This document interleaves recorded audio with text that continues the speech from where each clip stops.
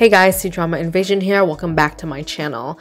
Today we're going to talk about a interesting controversy that's been popping up regarding the difference in treatment between Kris Wu scandal versus Zheng Shuang scandal. Of course, there are differences in the crimes and allegations that they're accused of doing, but there's quite a lot of suspicious points and factors that point out that regarding rules, regulations, and the reaction to it, there has been different responses to both of these people.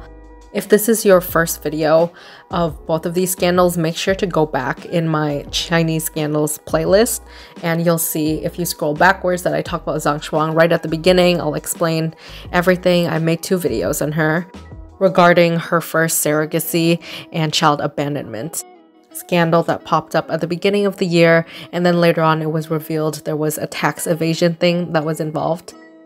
So after watching those ones, you'll have a better understanding going into this one of the aftermath and just the discussion in general. As for Kris Wu, I made three parts to his videos. It's also in that playlist as well. This would be more of the aftermath and there are some brand stuff that I'll talk about. But anyways, I'll be going back and forth between the differences and what people are saying online.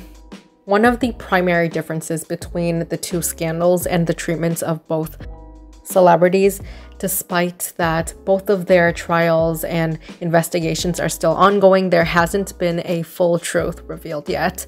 For Zheng Shuang's case, she did admit to the child stuff, so the surrogacy, and of course, you can't deny the horrible thing she said about wanting to abandon her children.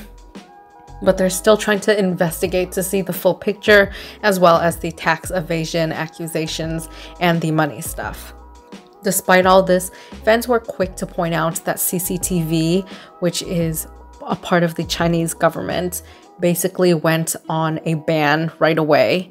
As for Kris Wu, they just kind of waited it out. And I know they did put up a little statement saying that they disagree with immoral actions and things like that, but they haven't really went out of their way to make it official that they banned him from all entertainment purposes, dramas, television, and variety shows, as they did to Zheng Shuang. It was clear that they didn't want her anywhere in the industry, and she is officially on the Chinese entertainment blacklist, which restricts her from doing anything in the entertainment circle, anything for money, or promoting any of her works, projects, and variety shows appearances. Despite that majority of the internet and netizens definitely not on Zheng Shuang's side at any case, they are pointing out that it's such a clear difference. They don't know if there's gender or if it's money and wealth or status or some type of connections that we as people of the public don't have knowledge of behind the scenes. But it's quite obvious if you're just looking in and comparing these two situations that there is a huge difference and they have been quite harsh to Zheng Shuang compared to Kris Wu's case. For instance, if you look at the brand deals, Louis Vuitton China branch in particular at the beginning, they were hesitant and they were pretty much on his side when everyone was dropping him. They announced that they were only suspending their relationship with him until results of legal investigations are announced. I'll insert a photo of all the brands that dropped him. Eventually, all of them did. But it was just quite weird because a fan posted screenshots saying that they were an international fan and they asked for Louis Vuitton's branch outside of China worldwide, and they said that they dropped him permanently, which was just weird and had a lot of people questioning whether or not he has some type of power hold on the Chinese branch to sway their opinion so much. But after the police reports arrived, Louis Vuitton finally terminated all their contracts with him. There's also been multiple rumors saying that they're going to start suing him at the end of the year because based off of estimated values on the inside, the contract value would estimate around 15 million USD. And that's only an estimate on the lower end regarding one or two brand contracts. So if he's facing a bunch of these, it's surely going to add up and there's going to be a lot of court trials.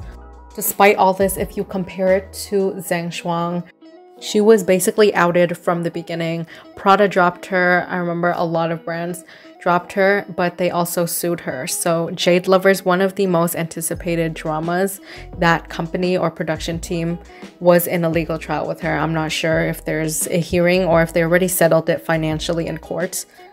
But it was confirmed a couple months back that they were suing her for the financial loss and potential gains if the drama succeeded and it was up there to be one of the most anticipated dramas for a very long time so i'm pretty sure that the amount that they sued her for was quite a big sum it is weird to me that despite both of them going to similar situations where the truth didn't really come out, one person is banned from the entire industry while the other person is getting a little bit more leeway and has a bit more pull in the industry.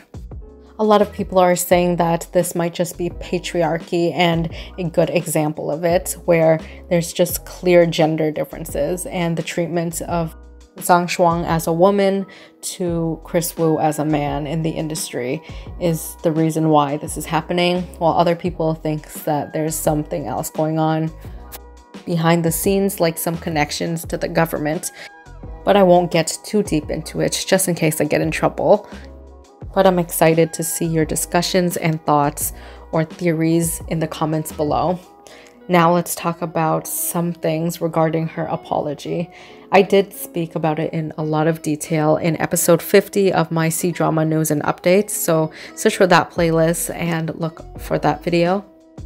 But in Zheng Shuang's recent apology, she basically addressed many things about her ex and money tax evasion claims and says that she's willing to work with authorities. However, the main two reactions on it is that one, she's either manipulating fans since she had all the time in the world to come up with this apology like months ago but she decides to drop it now when the Kris Wu stuff is going on and a lot of people is talking about how there is a difference in their treatment and inequality. So is she using this opportunity to speak up just so she can gain some sympathetic people on her side or is she genuine about it? I honestly think that she shouldn't have done this. It was a bad move on her or her PR side. It just seems like it was very planned and calculative. This is quite disappointing, and people who were her fans before actually switch sides, even though they do agree that there is a lot of inequality in how these two people are treated. They're just super disappointed that she would use the one chance that she gets to try to sway the public and restore her image.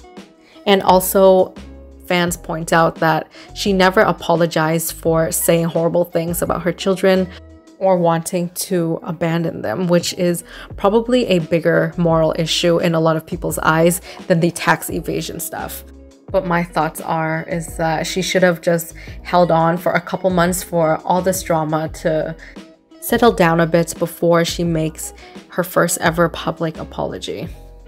The Chinese drama entertainment world this year has been wild and I'll still be continuing to update on weekly drama videos as well as any news that comes out on both of these scandals. So make sure to subscribe, turn on notification bells to all, and check out my Ko-Fi page for extra support. And I'll see you guys next time. Bye.